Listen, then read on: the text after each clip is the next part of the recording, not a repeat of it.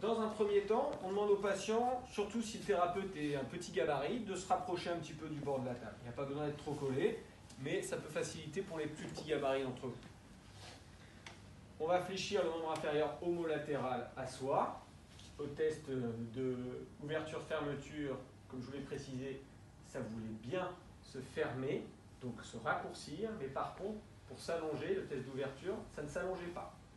Donc on va l'aider, on va l'amener vers de l'ouverture. Pour ça, on va amener de la flexion de hanche au-delà de 90 degrés de flexion ici. Je vais amener de l'ABD horizontal et donc RE sans que le bassin controlatéral se lève. Chez des patients, ça part vite, c'est qu'il ne faut pas aller plus loin. D'accord? Chez d'autres, ça, peut aller plus loin. Ici, vous voyez ça bouge. Donc moi, en gros, je vais amener la flexion pour épuiser la flexion de hanche. ABD, ça commence à bouger, je ne vais pas plus loin.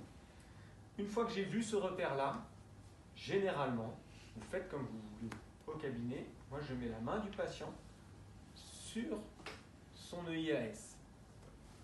Pas dans un premier temps pour pouvoir voir à partir de quand ça part, mais une fois que j'ai vu, je, je, le mets pour prendre appui dessus. Il y a des patients qui sont chatouilleux, ça enlève ça, et les enfants, comme je vous dis, ils aiment bien, ça leur fait comme s'ils participaient, c'était eux qui jaugeaient jusqu'où ça allait. Et dans cette position-là, soit je me place ici avec un contact face interne du genou, soit si vous avez la possibilité, et ce qui va faire plus un bloc avec votre patient, vous pouvez placer votre main, votre bras euh, caudal en dessous de la cheville et reposer ici. Et à partir de là, je vais faire un bloc. Et là, je deviens iliaque, je pense iliaque, je dors iliaque. Je vais surtout bientôt manger iliaque, parce qu'il commence à être. Et dans un mouvement, en fait, de légère salutation, et comme si je voulais tourner en rotation externe, je vais engendrer en fait un mouvement qui va s'imprimer dans l'iliaque. Et tu vas sentir que c'est différent si je pousse simplement le genou, là je suis dans la hanche. Je fais une rotation externe de hanche, et si j'imprègne les tissus et que je me laisse tranquillement poser, tu vas sentir que ça va se passer plus derrière dans l'iliaque. Tu sens la différence Et donc tu vois l'intérêt de se mettre dans l'ABD, rotation externe.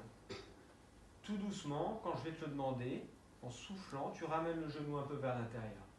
Inspire, souffle, ramène vers l'intérieur. Relâche. Thérapeute, prends ce qu'on te donne. Ne cherche pas à gagner, ne cherche pas à agresser la structure. On laisse les tissus fondre sous la main.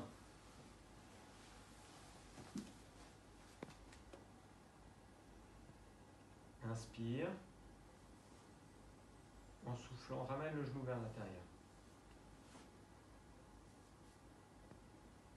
Ok. Et tu relâches. Je pense iliaque, je suis iliaque. C'est comme si moi-même j'étais son iliaque et donc je viens me peser tranquillement pour majorer si nécessaire, mais je prends ce qu'on me donne. Et là, tu veux bien sentir que ça se passe du coup dans l'iliaque. Je maintiens la composante d'ouverture vu que j'ai gagné en ouverture. En général, moi je fais glisser du coup ma main caudale sur crural tibial en gardant l'appui face interne sans jamais que le genou claque. Et je peux imprégner un petit peu cette notion de varisation du genou sans que le genou soit en extension pour ne pas qu'il soit bloqué.